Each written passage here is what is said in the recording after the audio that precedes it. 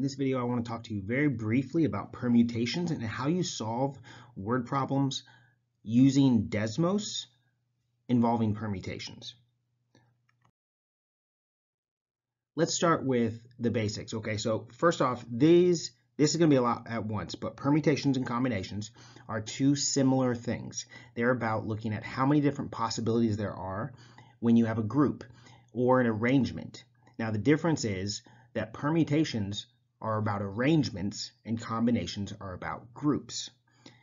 The other way that people remember this, they say that permutations are places when the order matters. Okay, and so we're to see a couple examples and we're going to talk through how we can tell the difference between the two. But this video, we're going to focus on permutations and how we get the answers. Okay, we're also going to look at some repetition in example four and what we do in those particular situations. So the first example, how many different ways can the first, second, and third place result from a race of eight rabbits? You're doing a race of rabbits. There's eight contestants. And so this is going to be, there's a bunch of different possibilities. And that's really what permutations and combinations are about. How many different possibilities? But this one talks about possibilities and it has an order that matters. In other words, if we were to say uh, Peter Flopsy and Mopsy went first, second, and third, it would matter if we change the order, right? Because it depends on which one comes first, second, and third. If I switch them around in a different order, then it would change the results. So this is a permutation because order matters. Now, I showed you a formula on the last slide, but you don't have to memorize that formula. It is on a lot of formula sheets that are given to you when you take standardized tests, but even more importantly, you don't even need to use it. So we're going to use Desmos to solve this problem, and all you have to type in is NPR, and then 8 and 3. So 8 is our total number. The big number has to come first, and 3 is how many we're choosing. And it'll go ahead and calculate that for us. Okay? If you just type in NPR in Desmos, it'll automatically get what you're saying, but it might be easier to go in and click on the uh, statistics and you'll see NPR. And then you just have to put the 8 and the 3 in there. Why did I pick 8 and 3? Because I had 8 total and 3 that I was choosing.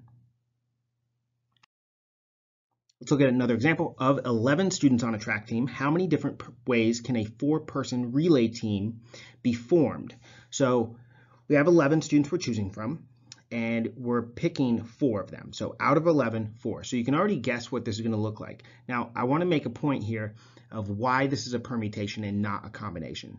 Because I can pick four people, and if I take the same four people and I change the order that they run in, usually that's going to result in a different race, okay? And if you've ever done track and field, there's somebody that might be the best person to start a race, and it might matter who finishes the race. So I'm treating this as a permutation because if I change the same four people and put them in a different order, I'm treating that like it's a whole different team. So when I type that in, I get NPR 11.4, and my answer is 7,920 different ways. It With permutations, a lot of times the numbers will seem huge. Like you're like, how could it be that many options? And that's kind of the trick of using these kind of math, is that it's going to be big numbers. How many ways can the letters in the word Harley be arranged using all the letters? So this is a very typical type of permutation problem. They say here's a word, here are the letters. If we were to rearrange them and use all the letters, then how many letters are we choosing from? And how many letters are we choosing? Well, we're choosing from six and we're going to use all six. So our permutation ends up being six, choose six.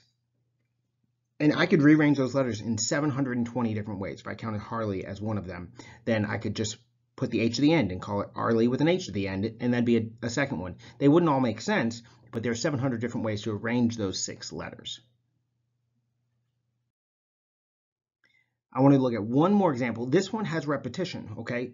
How many ways can the letters in the word Batman be arranged? Batman is also six letters.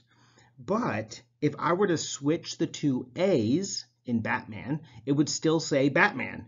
So we need to account for the fact that not all of the different combinations would actually be unique or distinct because if I switch the A's, it still says the same thing. So we have to kind of take that repetition out. And the way we do that is we do the NPR, we're saying 6, choose 6, just like we did on the other word problem. Except this time, we have to divide by 2 factorial. And the reason we do that is we have to say, well, half of those are going to be, there's going to be two repeats. Every time we have two A's and we flip them around, we're going to get twice as many as we should.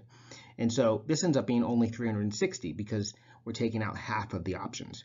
If there were three A's, if I were using the word banana, for example, I'd need to put 3 factorial. But you'll notice that in banana, I also repeat n's. So I'd have to take out the n's repeating. So I could have multiple things there on the bottom.